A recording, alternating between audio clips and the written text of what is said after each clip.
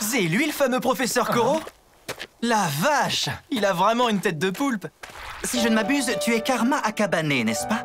J'ai entendu dire que ton renvoi prenait fin aujourd'hui. Tu ne dois pas arriver en retard dès le premier jour. Désolé, j'ai un peu de mal à reprendre le rythme. Vous pouvez m'appeler par mon prénom, vous savez.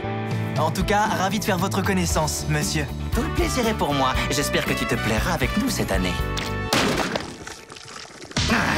Ha ha ha!